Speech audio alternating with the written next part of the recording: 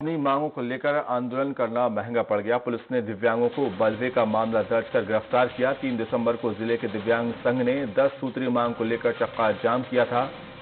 Police ने दिव्यांगों पर बलवे का मामला दर्ज किया। दिव्यांग संघ के अध्यक्ष राधा कृष्ण गोपाल ने बताया कि हमने दस सूत्री मांग को लेकर शासन को ज्ञापन सौंपा था, लेकिन अब तक कोई कार्रवाई नहीं की गई। मजबूरी में हमें चक्का जाम करने का कदम उठाना पड़ा।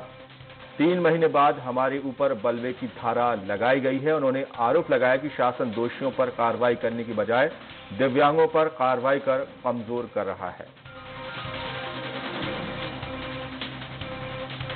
और इस पर ज़्यादा जानकारी के साथ स्वराज संवाददाता रवि गोयल जुड़ गए हैं। रवि दिव्यांग अगर आंदोलन करें तो उन पर मामला दर्ज हो जाता है। ये कैसा कानून? ये सलमान बताना चाहूँगा। ये ज़िले का बहुत ही एक दुखद मामला सामने आया है, जहाँ दिव्यांग अपनी ज़रूरत की मांगों को लेकर शासन से उसकी मांग करते हैं कुछ। और उसके लिए जब उनकी मांग पूरी नहीं होती तो उनको मजबूरन आंदोलन करना पड़ता है। मगर शासन उनकी मांग तो पूरी नहीं करता, मगर उनके खिलाफ जो है मामला दर्ज कर उन्हें जो है, और अधिक प्रताड़ित कर रहा है। ये जो है, बहुत दुखद मामला सामने आया है अपने जांजगीर चांपा ज़िले में। जी तो फ़िलहाल अब जो दिव्यांग है, क्या कुछ मांग कर रहे हैं?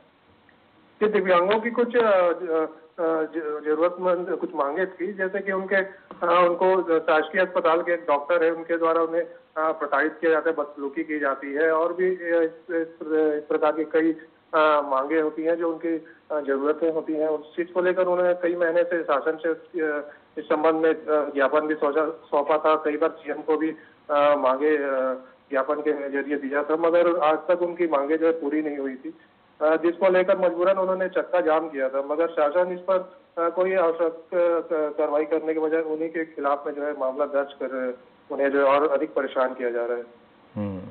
शुक्रिया शुक्रिया तमाम जानकारी के लिए। वक्त एक छोटे से ब्रेक का, ब्रेक के बाद